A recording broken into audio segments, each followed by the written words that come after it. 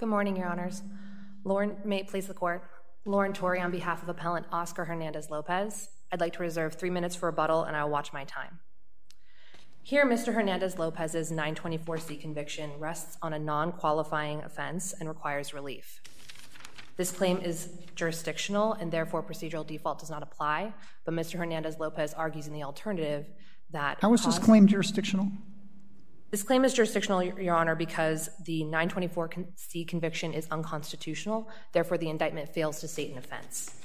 When the indictment fails to state an offense, as it does here, it strips the court of its jurisdiction because it effectively voids the judgment. What is your best case for that proposition, that it is jurisdictional?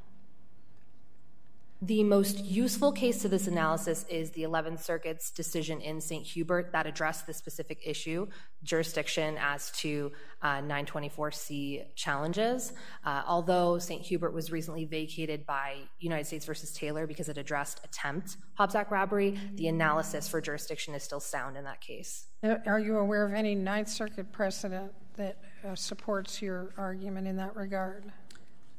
This court's uh, precedent, Ruelas, uh, discusses that when an indictment fails, to state an offense, that jurisdiction uh, is it's a jurisdictional claim, Your Honor. Excuse me.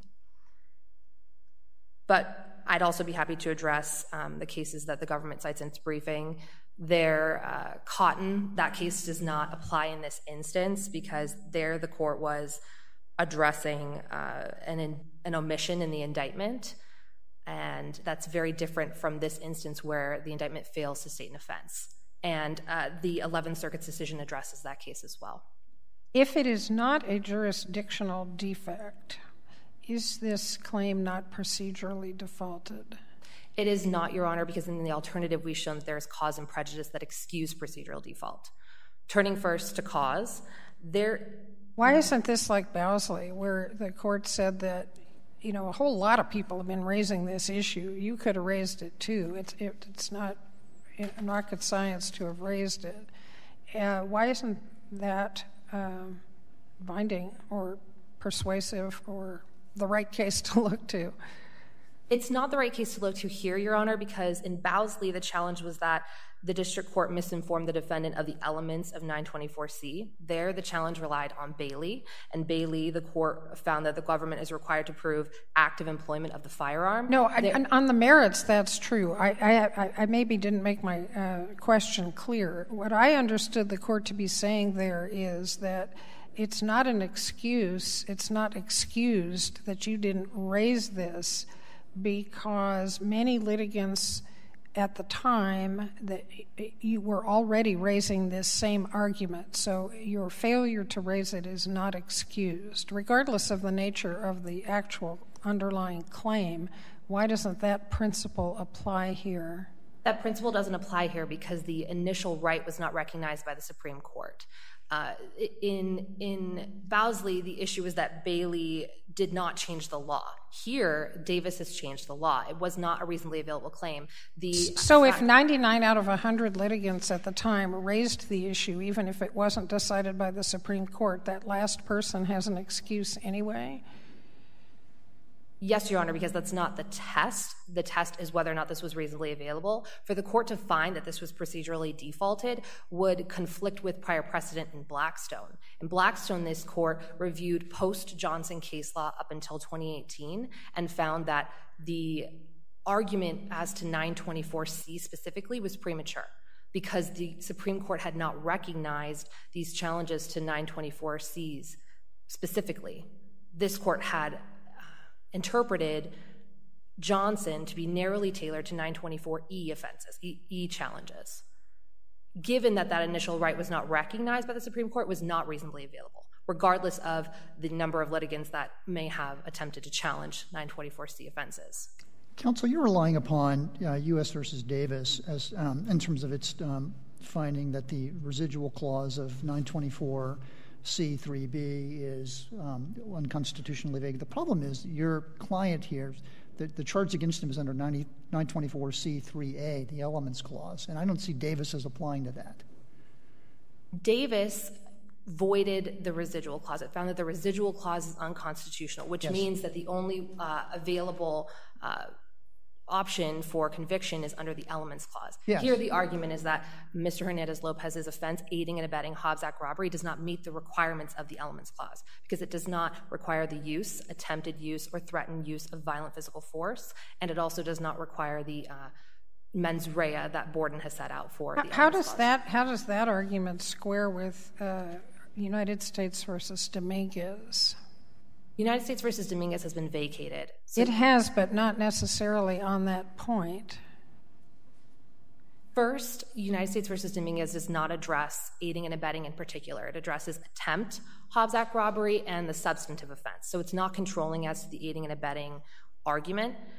Uh, additionally, the reasoning in Dominguez is flawed because, as to the substantive Hobbs Act robbery count, because it relies on this realistic scenario, uh, and that's not that should not have been applied by the court in that instance because the Counsel, plain counsel, flawed or otherwise, circuit precedent is binding on us.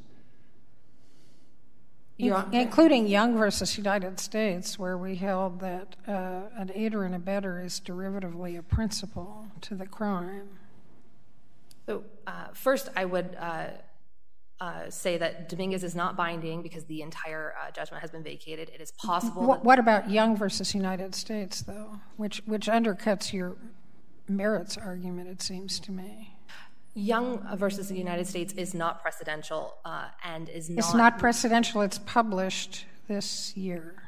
It is published, Your Honor. However, because the court addressed second or successor applications, it's not binding on this merits appeal. There, the court did not have jurisdiction to reach uh, a merits decision. That's why it's not legally binding on this case, where it's been fully briefed. You're saying it's distinguishable. It's binding precedent, but you're trying to distinguish it. Your Honor, I'm saying that it is not legally bind- binding on this merits panel because it was decided by a motions panel. And That doesn't matter. We have a precedent, lots of precedent saying that any published opinion, whether by any three judge panel, whether it's designated motions or not, is fully binding precedent for what it's worth. I mean, the issues may be different. For example, if you have an injunction, it, has not the same effect as, as on the merits. So that's what I'm trying to understand. Wh- What you're saying the limits of Young are. What, addressing the reasoning in Young, the reasoning in Young was uh, also flawed because there the court is relying on uh, punishment, and punishment is not uh, is immaterial to the categorical analysis. When we conduct the proper categorical approach, the court looks only to the elements of aiding and abetting Hobbs Act robbery. It does not look to punishment. And I think a good example of that is when we look at conspiracy Hobbs Act robbery. There, conspirators and principals are punished the same. So to find that because of punishment, aiding and abetting is the same as substantive Hobbs Act robbery would be uh, inc- uh, would not make sense in comparison to this court's rulings as to conspiracy. And Your Honor, I see that I am running out of time. You are, you may save the rest. Thank you, Your Honor.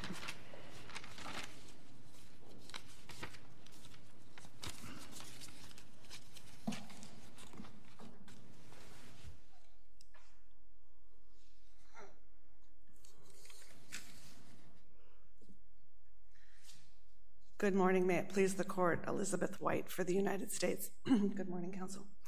Um, I'll take these questions in order. First of all, with respect to jurisdiction, what this court said in Ratigan is that the objection that an indictment does not charge a crime against the United States goes only to the merits and is not jurisdictional. For that proposition, I'm sorry, the court, this court in Ratigan cited the Supreme Court's decision in Cotton and also cited a 1916 uh, decision by Justice Holmes in a case called Lamar. Um, so, um, so that is there is there was a case Ruelas that was before Cotton, before Ratigan. I don't think Ruelas survives. Thank you. Um, survives the decision in Cotton, although this court hasn't specifically said that yet. So can you can you tell me for a moment just why didn't the why has the government abandoned um, his waiver by his plea agreement? That was um, mistakes were made. Mistakes were made. We we did we raised that in the district court. Um, the district court pleading was before this court's decision in Goodall, which um, which really made that a much stronger argument for us. Um, Goodall was before our appellate briefing, but I think we were just briefing the certified questions and and kind of missed the boat on that one. Um, otherwise, we would have because again, this you know this defendant was charged with 10 uh, 924 or 11 924. No, you would you would clearly prevail under that, but you've waived it. Yes, and I think and I think that um, but but this also does um, go to the issue of cause that I want to raise real briefly, and and um, my friend on the other side relies on uh, Reed versus Ross for the proposition that when the Supreme Court changes the law, that constitutes cause. But what Reed says really is that the underlying the concept of cause is that a defendant is bound by the tactical decisions of competent counsel. And so for a procedural um, for a procedural failure that is not the result of a tactical decision by counsel which sometimes happens when the supreme court just changes the law overnight in a way that we never could have seen it coming uh, therefore uh, it's safe to assume this the court said it's safe to assume that counsel was sufficiently unaware of the question's latent existence that we cannot attribute to him uh, strategic motives for failing to raise it. Now here at the time that um, that this defendant pleaded guilty it is true it is before davis but it was 18 months after johnson. And and johnson set off a wave a tsunami of defendants around the country and in the district of nevada arguing that hobbs act robbery is not a crime of violence arguing that aiding and abetting is not a crime of violence. This is an, argument that was available that defendants competent counsel made a strategic choice not to raise. And so therefore under under the reed sort of rationale for cause we would say that the defendant cannot show cause and then he also can't show prejudice because as this court has said over and over aiding and abetting is not a separate crime from the underlying substantive crime but rather a different theory of liability for the same offense. And the offense here is hobbs act robbery and hobbs act robbery is a crime of violence. So the fact that um, even if he had been prosecuted under an aiding and abetting theory or pleaded guilty under an aiding and abetting theory which by the way he did not i mean the plea colloquy and the plea agreement makes clear that he admitted you know going in putting the gun to people's heads taking their money. Um, but even if that were the case it wouldn't matter because principals are aiders and abettors. Aiders and abettors are principals and there is simply no no distinction. And that's what this court held in young and young is a binding decision on this uh, on this court.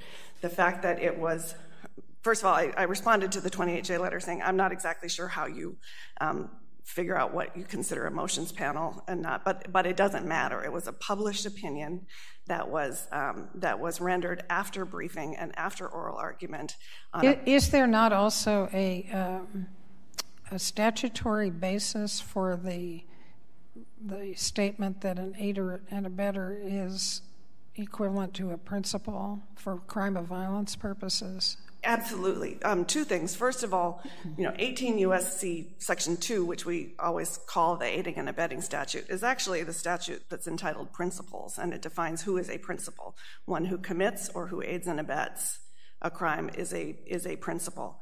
Um, and in um, and in 924c 924c imposes liability um, for the use of a firearm during and in relation to a crime of violence not during and in relation to the defendant's personal use of you know personal commission of a crime of violence. I think that um, what the supreme court explained in duenas alvarez is that um, is that over the course of the 20th century every single jurisdiction every state and the federal government has kind of come up with this conception of criminal liability where there is no distinction between principals first degree principals and aiders and abettors. And there's nothing in 924c that would suggest that congress intended to deviate from that well understood um, conception of criminal liability. This court actually addressed that specific issue in um, um, because there that was another one of these cases where where the court explained that aiding and abetting um, an aggravated felony is also an aggravated felony. And they and they specifically, the court there specifically addressed the California three strikes law, which I'm not sure if it's still like this, but at the time of that decision, um, the California three strikes law made a specific distinction and said that for something to be counted as a strike, the defendant had to have personally committed the crime, that aiding and abetting liability was not sufficient, and that and that that is um, that that is sort of one example where one legislature made a decision to make that distinction. And what this court said in Ortiz Magana is, but look, Congress didn't make that distinction in, in 18 U.S.C. 16, and they didn't make it in 18 U.S.C. 924C either. Um, the final point that I would want to make is that um, is that under the defendant's conception, you know, what this court has said over and over is that every criminal, federal criminal charge um, must be read as if aiding and abetting liability were subsumed within it. So even if we had not charged 18 U.S.C. 2, I mean, even if we hadn't included the citation to that statute, every federal criminal charge has to be read as if aiding and abetting were charged. And so taking the defendant's argument to the logical conclusion, if aiding and abetting is a separate crime with separate elements that categorically is not a crime of violence, and if it is implicit in every federal charge, the result is that no federal crime could ever be a crime of violence.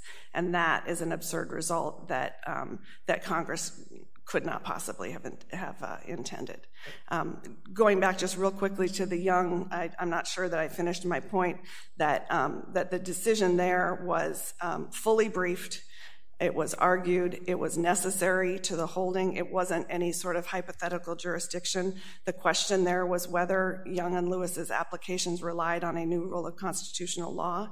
And to decide that, the panel had to answer the legal question of whether Davis was relevant. And because aiding and abetting is a crime of violence under the Elements Clause, uh, or aiding and abetting a crime of violence is a crime of violence under the Elements Clause, um, that, uh, that just didn't come into play. So that was a necessary holding and, uh, and is entitled to precedential weight.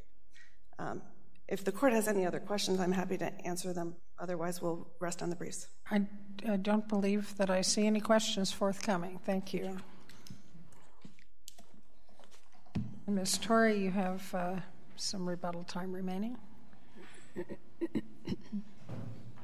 Thank you, Your Honors. Briefly on rebuttal, uh, turning back to Young, there the court was addressing a second or successor application, and although it is precedential in the sense moving forward for other SOS applications, there the court did not have jurisdiction to reach the merits. And because it didn't have jurisdiction to reach the merits, it was beyond the court's power to address that issue, and therefore the merits, there is no real merits holding in that case that's binding on this court. Second, the government argues that there is no distinction between aiders and abettors and principals. We disagree. When we look at the elements of aiding and abetting Hobbs Act robbery and the elements of Hobbs Act robbery, the substantive offense, they are different. The court must consider the actual elements of aiding and abetting when conducting the categorical approach. Further, the, United, uh, the Supreme Court in Borden addressed that there are these differences between accessory liability and inchoate offenses in a footnote when discussing intent, and that the intent for these uh, offenses are different and should be looked at differently.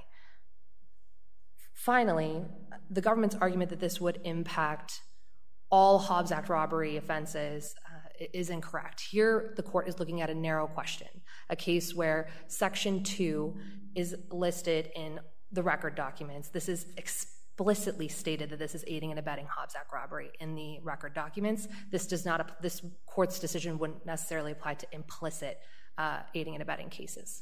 Thank you, counsel. We appreciate the arguments made by both of you, and the case just argued is now submitted for decision. Thank you, Your Honors.